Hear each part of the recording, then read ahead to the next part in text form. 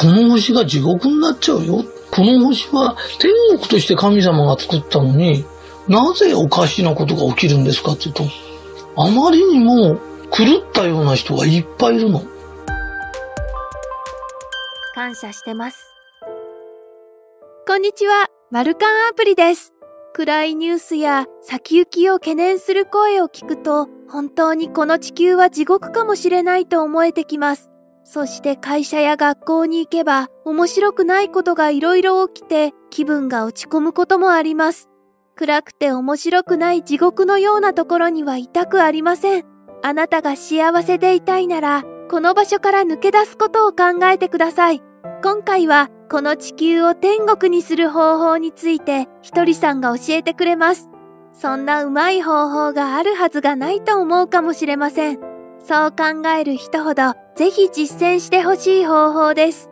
私たちの暮らしている地球が天国になれば、あなたは必ず幸せになって生き生きと楽しく過ごすことができます。あなたとあなたの大切な人が幸せになる方法ですので、ぜひ最後まで聞いて、ゆっくりと自分の中に落とし込んでください。では、どうぞ。はい、おはようございます。えー、100回聞いてくださいって話です。えー、この世は地獄である。そして、この世を天国にするまでの旅立ちの話します。えー、家庭です、そこへ。えー、誰でも天国へ行くという簡単な、えー、家庭です。えー、ある人が、えー、この星は精神病院であるって言った人がいます。えー、この星は地獄であるって証言した人もいます。えー、それはどういうことですか、えー、今からちょっとだけお話しします。あの、劣等感の話、えー、地球が天国になる話っていうテープがあって、それを聞いてくれてると思うんですけど、まあ中には聞いてない人もいると思うんで、ざっとお話しします。あの、人って劣等感を受けるんです。そうするとイライラします。誰か親が劣等感を与えるとか、そうするとイライラします。えー、例えば、いじめっ子がいます。そうすると聞くと、家で親がすごくうるさいとか、家がものすごく貧しいとか、えー、そういうことですよね。えー、例えばあの、ちょっとだけ考えてもらいたいのが、あの、江戸時代に、あの、仇討ちってのがありました。もし、その、自分の親が殺された、だから仇を討つんだ。えー、ところが、自分の親が殺されたから、仇じゃない人、周りにいる人ね、周りのお百姓さんとか、そういう人を切り殺しちゃったら、それ、強靭で気違いだよね。だって全然関係ない人の何人も何人も切り殺したら、それ、気が狂ってるよね。今、親の仇だって許されない時代なのに、まあ、例えば江戸時代でも、関係ない人切っちゃったら、それ強靭だよね。で、それと同じことを今の人たちはしてるんだ。え、なんでですか？ちょっと、さっきも言ったように、家が貧しかったとか、親が厳しかったとか、だから強い子はかっこいいってイライラしてるから、弱い者いじめるんだって言うけど、あなたがそのいじめてるその人は、あなたがあなたの家が貧しいことと何か関係があるんですか？ねあなたをイライラさせたのは、親だったり生活だったりなんだよね。全然関係のない人に、その嘘を晴らすっていうのは、親の仇じゃない人を切り殺してるのと全く同じだよね。えー、会社で劣等感のある上司は部下のことを見つけてボンボンボンボン文句言います。家で嫌なことがあったかもわかんないから、会社の人に当たり散らすけど、あなたが小さい時に劣等感を受けて、与えたのは、間違いなくあなたの前にいる部下じゃないんだよね。あなたが家で喧嘩してきて嫌な思いしたのは、あなたと奥さんの問題で、ね、前にいる部下、部下とは全く関係がないんだよね。関係のない人に、を切り殺すとか、関係ない人に当たり散らすってね、強人と同じだよ。で、あっちでもこっちでもそんな人がいたら、この星が地獄になっちゃうよ。ね？この星は天国として神様が作ったのに、なぜおかしなことが起きるんですかって言うと、ね？あまりにも狂ったような人がいっぱいいるの。で、あなたはどうしたらいいんですか？って言うと、自分だけやらなければいいの。とよく、自分だけやらなくたって周りがやりますって言うけど、そうじゃないの。類は友を呼ぶと言って、あなた一人だけでも、別に私が小さい時受けてきた劣等感と、今のうちの奥さんとか子供とか関係ないから、私はやらないよって。ね？えー、そういうことをきちっと明確に分けられる人。そしたらそういう人ばっかしが周りから寄ってくるし、いつもそういうことをしない人がそばにいたら、周りも自然に変わっちゃうんです。そうすると必ずそこに天国が生まれるんです。もともとこの星は天国として、まあ、あの、できた星だからね。あの、天国にしようなんて努力いらないの。地獄にしてるのは自分の中の心なの。ね。必ず、クラブ活動でも先輩やなんかからいじめられてどうのこうのしたからって。それを後輩に当てると、後輩は何もしてないんだよ。あなたのことを不当にいじめたのは先輩たちでしょ？ね？そうすると、仇じゃない人切り殺すってのはやめた方がいいよ。それが変な伝統みたくなってるけど、そんな地獄の伝統みたいのを受け継いじゃダメだよ。ね。人がにやられて嫌なことはしない。これがキリスト教の根本的教えなんだけど、世界の宗教どこだってそうだよ。ね。えー、そういうこと自体は、えー、やめた方がいいよ。えー、この星を精神病院にしちゃいけないの。それで、あなたは精神、だって本当に精神病じゃないんだよ。心の持ち方だけで狂ったことしてるじゃない。ねだから、そういうことはやめようって。で、あなたが今当たってる人のせいで、あなたは劣等感を受けたんじゃないんだよ。ね。それから、あんまり貧乏する、して、するとね、世間に仇をどうする。やっと金持ちになった人、世間に行ってバリ散らしてすけど、あな、あなたが貧乏だったのは、あなたの周りの人と関係ないんだよ、それ。あなたの家の問題なんだよ。ね？俺はちっちゃい時苦労したからこうなんだって、それはあんたの自由なんだよ。あんたの自由って言っちゃいけない。あなたの家の問題で、それからあとどういうふうに生きたかって。だって同じ貧乏でもあんたみたくなんなかった人いっぱいいるよって。ね？家が貧しかったから貧しい人の気持ちがよく分かって、ねそういう人助けるって仕事してる人もいるし、ねあの、誰しもそうなってるんじゃないよ。そのことよく考えて、えー、くださいね。この星は、えー、本当に天国として神様が作った星だからね、えー、そういうことに目覚めた人を宗教的に、あの人は覚醒した、目覚めた人だって。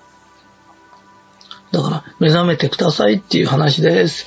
えー、よくあの、あなた個性がないよとか、あなたもうちょっと個性出した方がいいよっていう人がいるんだけど、それはちょっと違うんです。えー、なんでかっていうと、その人がこう地味な人がいる、あまり自分を主張しない人がいるとすると、そういう人はあまり自分を主張しないという個性なんです。で、個性は十分に出ているのに、あの、あなた個性がないよって言われても、個性は出てるんです。そういう個性なんです。だから、例えばあの、相手がね、私個性を変えたいんだって言うんだったらそれはわかるんです。でも個性がないって言われちゃうと、十分個性出してるしさ、えー、まあ例えばあの、伊藤さんっていう方がいて、伊藤さんあなた少し個性変えた方がいいよって。でも伊藤さんって分かったんだよね。大勢いっぱいいる中から伊藤さんってあなたは分かったんだよね。その分かるということが個性なんだよね。だから、顔立ちだろうが、服装だろうが、ちゃんとその人と分かったってことは、十分個性が出てるんだ。で、相手の個性を尊重するってことは、あなたは良くないよとかっていうのは、言ってる人の個性を押し付けてるんだよね。あなたが個性と認めてないものは、個性じゃないと思ってんだよね。でもそれってすごく傲慢な話だよね。だから相手は十分個性がある人なんだよ。で、相手が私もうちょっと明るくなりたいのって、あ、それだったらさ、って。例えば髪の毛の色変えたらものすごい個性的になるよとか、そういうアドバイスが必要なんで、相手が変えたがってもいないものを、ああしたらいい、こうしたらいいっていうのはおかしいんだよって。だから個人的にそういうこと言うもんじゃなくて、えー、まあ、あの、暗い感じで、まあ、あんまり言葉がいいかどうか知んないんだけど、あの、こう、貞子みたいにこう髪の毛ペタッとしたのがいるとすると、なんか個性がないってことは、あれすごい個性ですよ。忘れられないぐらいインパクトがあって。だからその人その人に合った個性を十分出してるんだ。地味な人は地味ですよっていう感じで十分アピールしてるしね。私とは目立ちたくないんだっていう人は目立ちたくないんだっていうすごい個性でみんながすごいアピールしててね、えー、なんみんな私の歌でみんな自分が花っていうのがあるんだけど、よく色紙に書かせてもらうんだけど、みんな見事に咲いてるの。それで、その中で相手が自分の個性をあなたのように変えたいんですって言った時だけアドバイスしてあげてください。それ以外はみんな立派に咲いてるんだ。ものすごい個性だね。っていうことで見てあげてください。そうじゃないと、いちいち人のこと否定してると苦しくなっちゃうからね。みんな自分のセンスも尊重してください。そして相手のセンスも尊重してあげてください。お互いが尊重し合ったとき、あの、えー、この地球は天国になりますからね。えー、以上です。感謝してます。この世の中は地獄のようだという人がいます。確かに昨今のニュースを見ると、災害やら凄惨な事件やら、気持ちのすさむ出来事で溢れています。そればかりか、これからもっと悪くなるという意見があって、ますます生きにくい時代だと思えてきます。私たちの人生はまだまだ続き、子供や孫の時代も来るわけですから、この悪い連鎖は断ち切らなければなりません。そのためにまずは世の中を明らかに眺めてみてください。この世の中の問題は他人に優しく親切にできない愛と光のない人が作っています。周りの人に優しく親切にできない理由はその人にある劣等感です。親が貧乏だったり厳しかったり、また先生や上司から何かを言われることで人は劣等感を持ちます。劣等感が芽生えるとイライラしますから、それを正しく対処できない人は周りの人を傷つけます。友達をいじめたり、大人だったら会社の同僚や部下を不当に怒鳴ったりするかもしれません。本人はイライラのはけ口でやっているのですが、やられる方はたまったものではありません。そしてやられた人はそこで劣等感を持ち、次の人にぶつけることで、イライラからの悪魔の連鎖が広がっていきます。一歩引いて考えればわかりますが、親に植え付けられた劣等感を友達で晴らすなんてお門違いです。江戸時代の仇討ちだって、仇が相手だから許されました。親兄弟をやられたからと関係のない人を傷つけたらただの犯罪者です。親が厳しかったとか、会社でうまくいかなかったという理由で犯罪を犯すなんて勝手な八つ当たりです。クラブ活動で先輩にひどいことをされたからと後輩に同じことをやるのは間違った仇討ちです。それが許されるはずなどありません。関係のない人に苛立ちをぶつけるような人が増えれば、この世は地獄になっていきます。中には劣等感から相手を貶める人がいます。他人を見て個性がないとか、面白くないというのは余計なことです。その人はその人でいることが個性です。自分の劣等感から生まれた価値観を誰かに押し付けてはいけないと気づいてください。そうやって他人から貶められて傷ついた人が他の人に同じことをすれば、それは悪魔の連鎖の始まりです。この悪魔の連鎖を止めるためには、あなたがそれをやらないことです。他の人はやっていて、もしかしてあなたがその被害を受けた当事者であっても、あなたはそれを誰かに回さないでください。これはとても勇気がいるし、強い気持ちも必要です。ですがあなたがそこで踏ん張ることで、この地球は変わります。あなたが劣等感の連鎖を止める人になれば、あなたの周りは同じタイプの人が集まってきます。そうすれば本当に楽しく幸せでいることができるのです。もし劣等感の連鎖に乗って苛立ちを誰かに回せば同じような人が集まってくるので永遠にその輪から抜け出すことなどできません。現状と未来を地獄にするか天国にするかはあなたの心一つです。自分のいる場所を天国にすると決めて行動すれば、必ずそこは天国になります。あなたとあなたの大切な人が暮らすこの星を地獄にしないでください。人はみんなそれぞれがそれぞれの色や形を持った花です。どれがいいとか、どれが一番とかはありません。すべてが素敵な花なのです。そのことを知って、お互いを尊重できるようになった時、地球は天国になります。この地球の未来は決して暗いものではありません。現状を憂いて暗い未来予測ばかりしているニュースや人の話を真に受けないでください。暗い出来事があるなら、それを膨らませるのではなく、連鎖させないことを考えればよいのです。私たちはみんな、ここでの人生を楽しむために生きています。そのために必要な環境を神様は私たちに与え、地球には豊かに暮らすのに十分な資源が揃っています。そのことを忘れてはいけません。せっかく楽しく生きられる環境をもらっているのに、わざわざ苦しい方に考えるなんておかしな話です。自分の中の劣等感を強調して生きにくくするより、そんなものはさっさと手放してください。それができた人から幸せになっていきます。あなたが幸せになれば、周りに集まるものが変わります。そうやって地球はもっと素晴らしい住みやすい場所になっていくのです。この世を地獄にすることも天国にすることもできます。みんなで天国を作って幸せで豊かな人生を楽しみたいですね。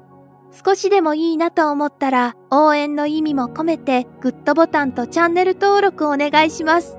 あなたにすべての良きことが雪崩のごとく起きます。それではまた次回の動画でお会いしましょう。感謝してます。